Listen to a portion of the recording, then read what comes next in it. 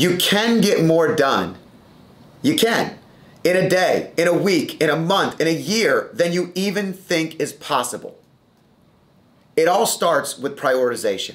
It all starts with the big rocks in your life. And we'll get to that in a minute, but what happens if you're not prioritizing the most important things? What happens if you're letting your schedule control you? What happens if time management is something that every time you hear, it's like fingernails on a chalkboard right in front of you because you know you're failing every single day? Well, we all know what that feels like. You go home and you feel unsuccessful. You wonder why you spent all this time at work today and got nothing done. You're not anywhere near the level of success that you feel you should be because your time is being wasted in areas that don't represent where you want to be. You're wasting away the day, the week, the month. How many weekends go by and people say, I got to get these things done? It's my only time off. And Sunday comes around and not one thing was done. Not one. You didn't do anything you wanted to do. We all know that feeling, so we don't need to stay there very long. Everybody has done that, including me, on a regular basis. But here's what I've found. What I found is if you do a couple of things, you can regain your control of your schedule. You can reprioritize things and you can be more productive than you ever thought possible. I get more done in weeks than than most people do in months. And I'm not saying that to make myself look great, but I'm saying that because the secret's in the schedule, not me. It's all the things that I surround myself with that make it possible.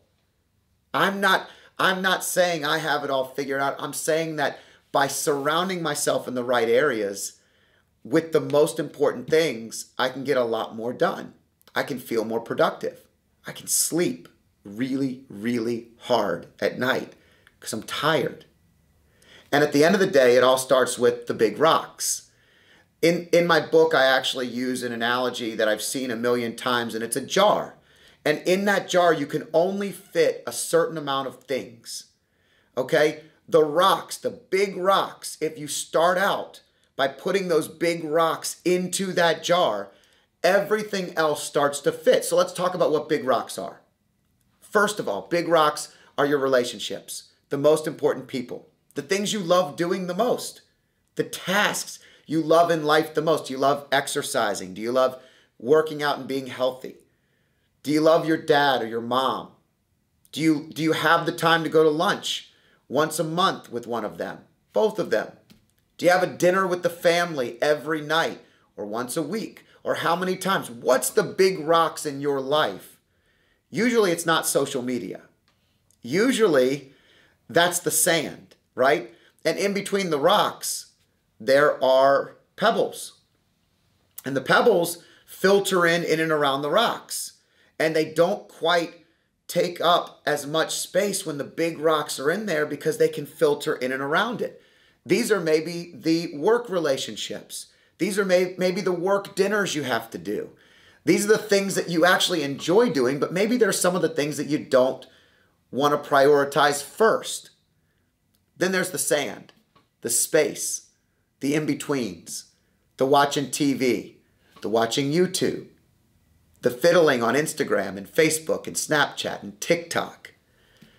You know how many people talk about not having time to have dinner with friends?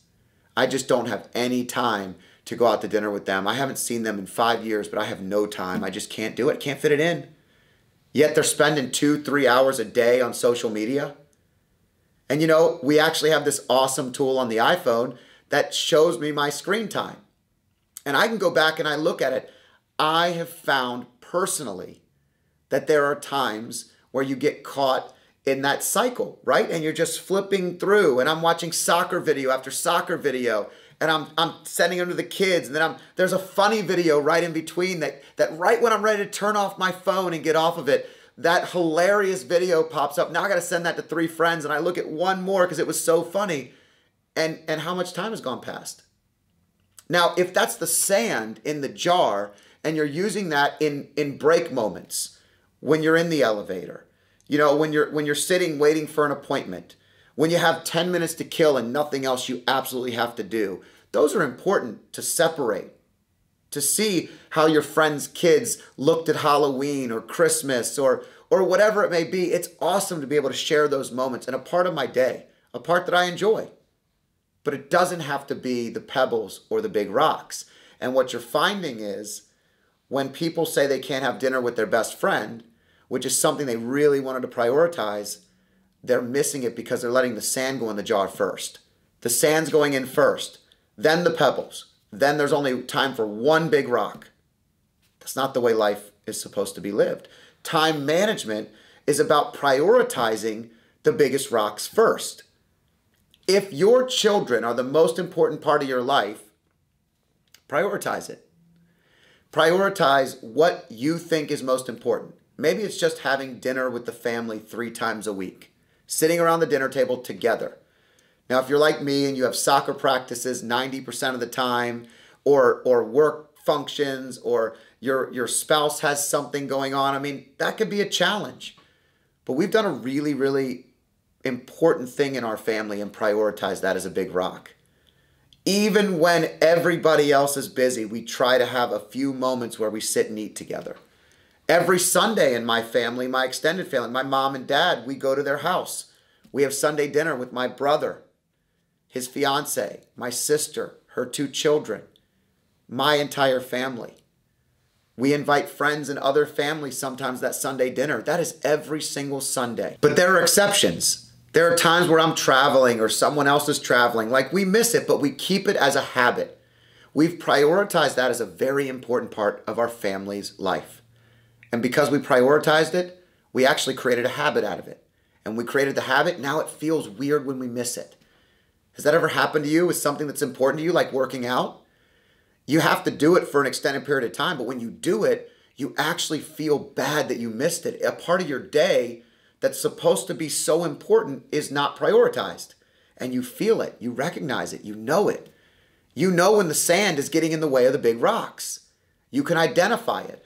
So prioritizing the most important things and starting with these three or four things this week are the most important things. These few people are the most important people in my life. This topic is something I want to work on or I want to read about and I want to prioritize it. That goes in your schedule first.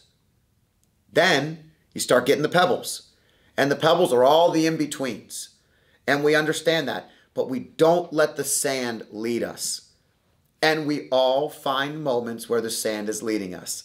There are days in the last three weeks where the sand has been the most important part of my day and I have failed. I'm not perfect at it, but I have prioritized to the point where I've done some other things to help me be better at it. Here's another one I've surrounded my schedule with things I love doing. Here's a big one. When you love what you're doing, it's easy to prioritize it. If you hate what you're doing, it's really hard to prioritize it. So it makes you self evaluate where you're spending your time. Are you spending your time on the things you are great at? Or are you spending your time on the things you're not so great at? And when you're prioritizing those big rocks and you're great at it, you can also get everybody in and around you to help. If you share that with your partner, your spouse, your family, these are the things that are most important to me. They can hold you accountable. They can help you. I have I have I am blessed to have an EA that that spends their time helping me on a regular basis prioritize my schedule. And when it gets out of control or something changes or the sand starts to infiltrate the pebbles and the pebbles infiltrate the rocks, we flip it. We pause and we flip it. And we make sure that we rebook the schedule the way it's supposed to be. It doesn't mean that there aren't times where there are exceptions. There are always going to be exceptions. It's not going to be perfect. And perfection is actually what keeps people from having a good schedule, good time management. So here's the key. If you want to get more done, first of all, you're going to feel more successful if you prioritize the most important things. So that automatically is going to give you good energy to go into the next day. The next thing you're going to do is you're going to start to actually evaluate what's on that schedule. So when you've prioritized it all and you've written it all out, you got to look back at it. You got to look back at it on a regular basis. I find it very, very powerful every day to look back at the one thing that I got accomplished that I'm very proud of. It's a simple thing for me, But if I could say, well, at least I got that one thing done, that one priority, I feel accomplished.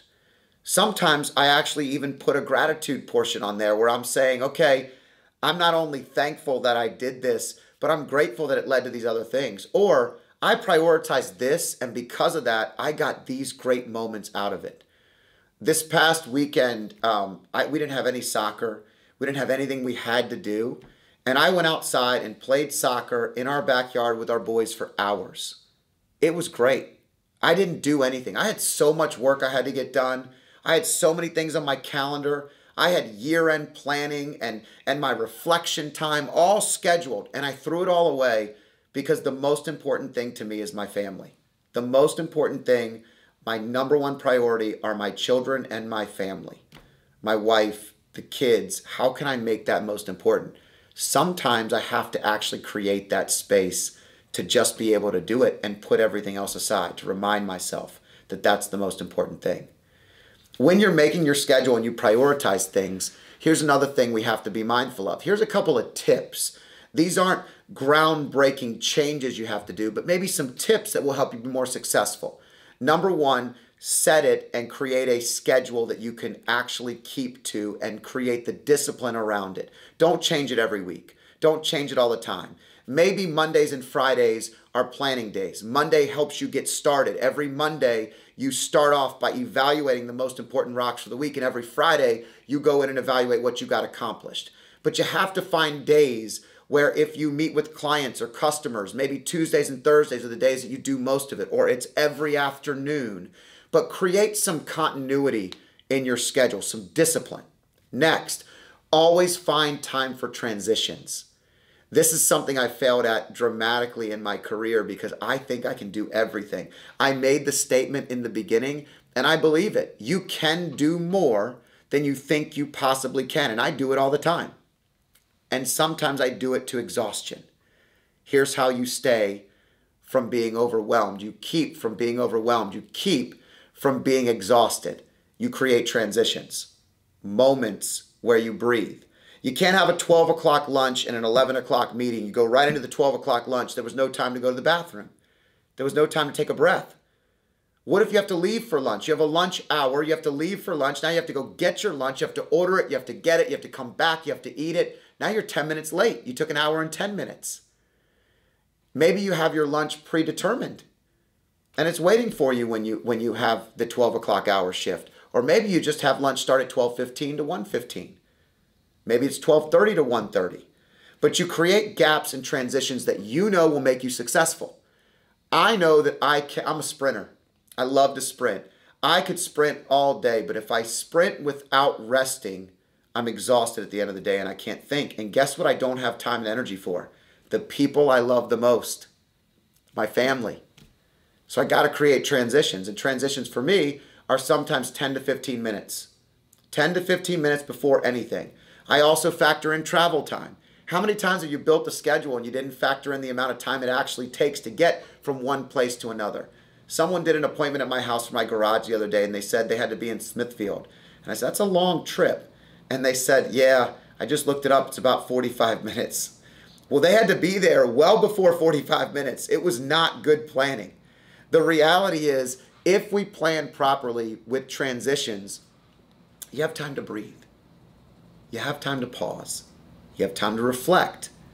We've done a video on reflection. Make sure you catch that video and you review it because having a moment or a pause or a transition actually gives you built in time in your day to reflect and respond versus reactions. Here's another thing surround yourself with people that want you to be successful, not people that are going to cram your schedule with crazy. If you have people that are helping you with your schedule or demanding of your time, make sure they know the boundaries. Set clear parameters of what you're willing to do during certain times. Big one time block. And don't just time block for things that you have to do, but time block for space. I find having to time block for actual time to think, for time to not do anything, allows me to be more productive in a day than anything else sometimes. I do my best thinking in the morning. I do not book anything first thing in the morning. I absolutely have to get certain things done, but I don't always know what those things are. So having a little bit of space to get some things done that pop up, like paying a deposit on something, uh, taking the kids to school that I didn't expect to. There's just gaps that allow me to be more successful. How can that make you more successful? How can you take transitions and time blocking and turn it into successful patterns of time management? The last thing you need to do is create a habit of reviewing.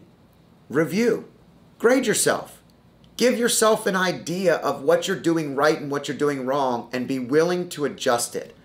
It's taken me 20 years to get the schedule I have today. But for about a decade, I've had Monday and Friday as planning days.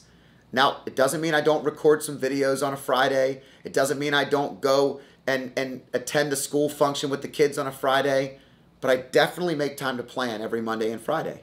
Every Sunday night, I review my schedule for the week before I start the week. Guess what? I don't wake up anxious. I don't wake up excited. I don't wake up nervous. I don't wake up not knowing what's coming. I have taken the time to evaluate it. I actually now take the time to look at month by month. I still use one of those big, huge desk calendars, and I have it in front of me all the time.